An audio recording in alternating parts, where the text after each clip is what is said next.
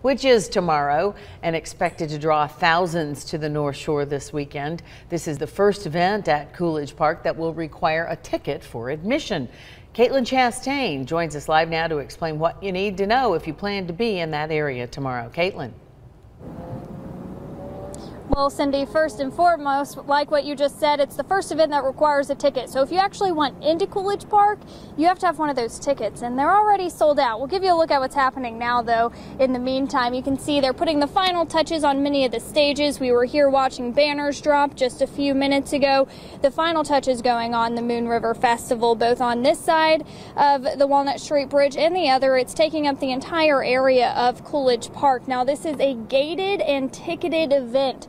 So in order to get in, you have to have a ticket, and tickets did sell out. So we're expecting nearly 10,000 people to be down in Coolidge Park tomorrow for this festival. And of course, many others are expected to be walking around the area in, as well throughout the weekend. So if you're coming down in the area, that's something you're definitely going to want to keep in mind, whether you're walking or driving there will be a lot of people and a lot of traffic. And of course, we'll be out here throughout the rest of the evening and throughout the weekend giving you guys updates as well. Right now, I'm live from the Walnut Street Bridge. Caitlin Chastain, Channel 3 Eyewitness News.